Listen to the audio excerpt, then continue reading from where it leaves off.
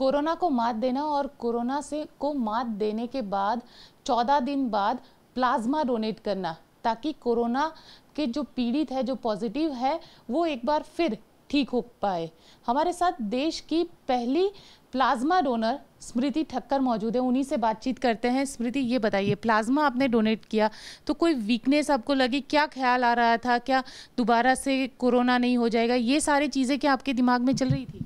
जी, सुबह जैसे ही मुझे डॉक्टर्स के कॉल आए तो उन्होंने मुझे पूरी प्रोसीजर समझाई कि कैसे हम आपका प्लाज्मा लेंगे और ये प्लाज्मा किन पेशेंट्स के लिए कैसे यूज़फुल होगा। तो जैसे ही मुझे उन्होंने पूरी प्रोसीजर समझाई तो दे अश्योर कि यू नो आपके, आपको कोई वीकनेस या आपके आपके लाइफ में कोई मतलब रिस्क या कुछ नहीं है it is hundred percent safe so इससे डरने की या पैनिक करने की ज़रूरत नहीं है it's just very simple process है।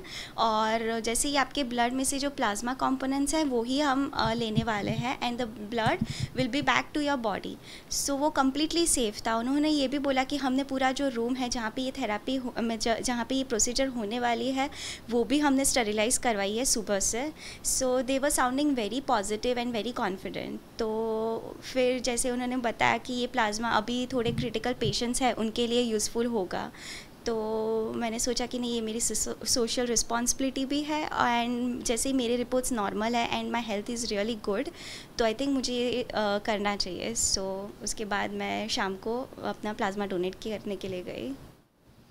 ये बताइए आपको ये ख्याल कैसे आया कि प्लाज्मा डोनेट करना चाहिए? क्या सोच उसके पीछे थी? ख्याल तो मतलब मुझे डॉक्टर्स ने कॉल किया, तभी मुझे पता चला बिकॉज़ तभी हमें, हमारे राज्य को परमिशन मिली थी गवर्नमेंट से कि हम प्लाज्मा थेरापी अभी गुजरात में चालू कर सकते हैं। And then they contacted me कि आपके रिपोर्ट्स काफ़ी नॉर्मल है and your health condition is very good तो जैसे ही मुझे ये पूरा पूरा प्रोसीजर समझ में आया तो मैंने सोचा कि ये कोई रिस्की प्रोसीजर नहीं है so then I initiated this कई लोग ऐसे हैं जो बड़े परेशान हैं जिनको कोरोना हुआ है जो काफ़ी सीरियस है। तो वैसे लोगों के लिए आप क्या कहेंगी? Uh, जो uh, जो पेशेंट सीरियस है मैं उनको यही बोलना चाहूँगी कि आप प्लीज़ पैनिक मत कीजिए। जो भी आपकी हेल्थ कंडीशन है सिर्फ़ ट्रस्ट ऑन द डॉक्टर्स कि वो आपको बचा लेंगे और पैनिक करने की ज़रूरत नहीं है, क्योंकि इसमें सबसे ज़्यादा जो इंपॉर्टेंट है वो आपकी इम्यूनिटी है। अगर आपकी इम्यूनिटी आप वीक आपकी वीक होगी तो आपको लाइक यू नो ज़्यादा चांसेस है कि आप आपकी लाइफ डेंजर में हो सकती है या आपको ज़्यादा सिम्टम्स डेवलप हो सकते हैं। So please be mentally strong and be positive कि आपकी इम्यूनिटी आप बढ़ाइए दैट्स इट जो लोग प्लाज्मा थेरेपी को लेकर सवाल खड़े कर रहे हैं, उनको आप क्या कहेंगे? क्योंकि लोग ये कहते हैं कि एक जो परसेप्शन है कि वीकनेस लग जाती है, कोरोना दोबारा से हो सकता है तो उनको लेकर आप क्या कहेंगे? जी बिल्कुल, ये बात कम्प्लीटली गलत है, ऐसा कुछ भी नहीं है। ये ये प्रोसीजर मेरे 99 मिनट्स चला था। वो दौरान मुझे ना तो कोई वीकनेस थी या ना तो कोई ड्राउजीनेस या कुछ नहीं था। एंड प्रोसीजर बहुत ही सिंपल है। सो so, डरने की या घबराने की ज़रूरत नहीं है। आपको वापस वायरस नहीं हो पाएगा क्योंकि आपकी बॉडीज़ में ऑलरेडी एंटीबॉडीज़ है कि जो आपकी ये वायरस से प्रोटेक्ट आपको कर रही है। सो so, आपको वो थोड़ी एंटीबॉडीज़ आपको उन पेशेंट्स को देनी है जो अभी वीक है और जो अभी क्रिटिकल है। तो डरने की कोई ज़रूरत नहीं है।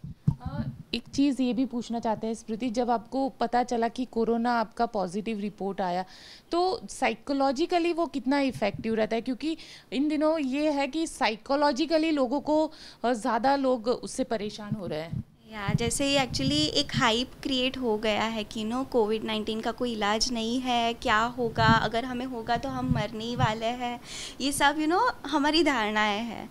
एंड इवन जब मुझे पता चला कि मेरे रिपोर्ट्स पॉजिटिव थे मैं भी बहुत पैनिक कर चुकी थी कि मैं रो रही थी रात को सुबह every day and night I was crying and I was panicking a lot but जब फिर यू नो वहाँ पे हमें साइकोलॉजिस्ट भी प्रोवाइड की गए कि वो हमें, वो हमारे मतलब आते थे, हमारे से, हमसे बात करते थे। एंड हमें पॉजिटिविटी देते थे कि कोई डरने की ज़रूरत नहीं है look at you are completely fine तो आपको क्यों रोना आ रहा है कि आपको क्यों पैनिक हो रहे हो? आपको थोड़े सिम्टम्स है वो हो जाएँगे वो डॉक्टर्स है. सो so, डरने की ज़रूरत नहीं है सिर्फ़ अपना आपको अपने आप को मेंटली स्ट्रांग रखो कि आप यू you नो know, कोई भी कुछ भी आए तो आप उनसे फाइट कर सको. एंड यही ये और ये जो वायरस से हमें बाहर निकलने में सिर्फ़ इम्यूनिटी है जो हमारी हेल्प कर सकती है. So please be mentally strong डरिए मत। लगता है डर बट सिर्फ़ ये सोचिए कि यू नो थोड़े दिन है थोड़े दिन निकलना है and then you will be completely fine लोगों को क्या कहेंगी? Uh, जो लोग अभी रिकवर हो चुके हैं कोविड नाइन्टीन में से तो मैं उनको बोलना चाहूँगी कि ये प्लाज्मा थेरापी काफ़ी हद तक यू नो पॉजिटिव रिस्पांस दे रहे हैं हर जगह पे। तो प्लीज़ आप आप अपने आप को वीक ना समझिए और ना डरिए कि आपको फिर से होगा और फिर से हॉस्पिटल जाना पड़ेगा, ऐसा कुछ नहीं है। डॉक्टर्स ने आपको ऑलरेडी रिकवर कर दिया है। You already have antibodies in your body so डरने की कोई बात ही नहीं है और ये प्रोसीजर बिल्कुल भी पेनफुल नहीं है। It is very simple just like a blood donation so मैं सबको ये दरख्वास्त करना चाहूँगी कि प्लीज़ आप आगे जाके जाइए और प्लाज्मा डोनेट कीजिए। जिन, जिनसे जो भी पेशेंट्स क्रिटिकल है सीरियस है, उनकी लाइफ आप सेव कर सकते हो। चलिए, ये थे स्मृति ठक्कर जिनका कहना है कि लोग जो ठीक हो चुके हैं कोरोना से, वो जाए, अपना प्लाज्मा जो है वो उसे डोनेट करे ताकि किसी और की ज़िंदगी को बचा सके। कैमरामैन उज्जवल ओझा के साथ गोपी घांगर, अहमदाबाद।